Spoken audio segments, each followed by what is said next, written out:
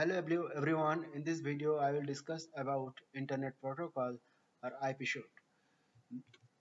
So Internet Protocol suite is the global standard for computer to computer communication. It follows client server model and it uh, is the suite with end-to-end -end data handling method for everything from packetizing the pack uh, data, addressing, routing to receiving the data. It has four layers. It was developed by United States Department of Defense under a project called DARPA, Defense Advanced uh, Research Project Agency. And uh, previously in my previous video, I had discussed about OSI model. So if you should know that OSI model is a reference model and it is only used for educational purpose or as an educational tool but uh, nobody usually use uh, OSI model for communication over the internet. So it is also called TCP IP protocol.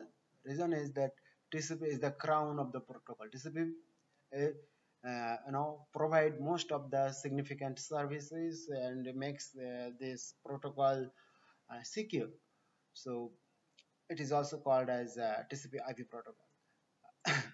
so it has uh, four layers. I told you that they are based on network hardware, IP or IP addressing, uh, and transport protocols, and presentation and application layers. So these are the four concepts of, of the four different layers. Now, if we compare these four layers with the seven layers of OSI model, you will understand See, in OSI model, what we had data link layer and physical layer as layer 1 and layer 2. That's now these two layers are merged together here as a network interface layer. Here we call it as network layer 1. Okay.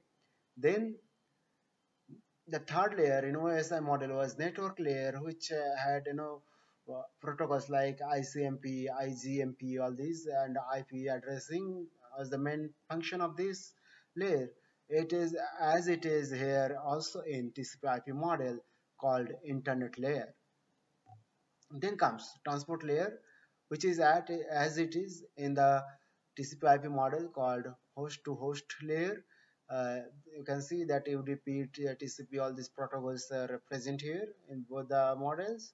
Then session layer, presentation layer, and application layer. These three layers in OSI model are coming together as application layer in TCP/IP model with all these protocols of these three layers which are separate in three layers in OSI model.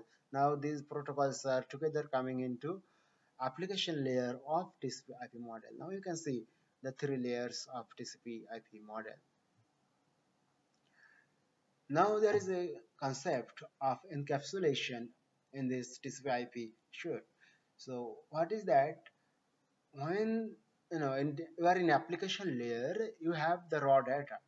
Now you are going to transmit this data to some other receiver over the internet. So it goes to the transport layer first. It you know adds a header. If it is using a UDP protocol UDP header it is adding then uh, that packet is going to internet layer. Internet layer is uh, adding another header called IP header then it is going to the link layer. It is going to add another header called frame header and also it adds a frame footer. So this is what the concept of encapsulation in TCP IP should now this uh, encapsulation you can see here in detail how the source host is sending data application data to a receiving host okay or, or a destination host so for watching